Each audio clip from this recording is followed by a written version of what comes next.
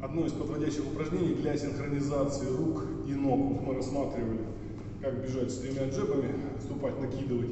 Самое главное там именно синхронизировать, чтобы качество удара было выше. Вот подводящее упражнение с медболом. Начинаем с того, что работаем двумя руками, чтобы поймать синхронизацию. На каждый шаг мы делаем топ, мы взрываем мяч. Дистанция должна быть небольшая, чтобы долго не растягивать.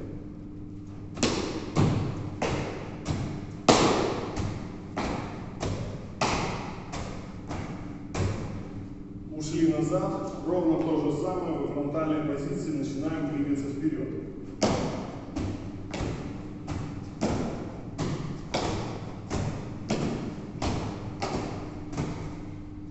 Сделал двумя руками, поймав общую синхронизацию, работаем одной рукой. На левую, на правую, то есть на каждую дорожку. Итак, акцент на одну руку и начинаем.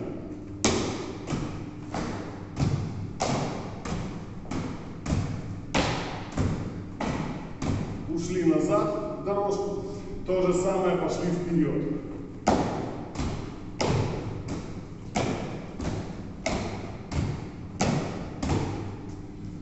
Поработав с мячом, уже потом начинаем двигаться по мешку, либо по какой-то цели свободно.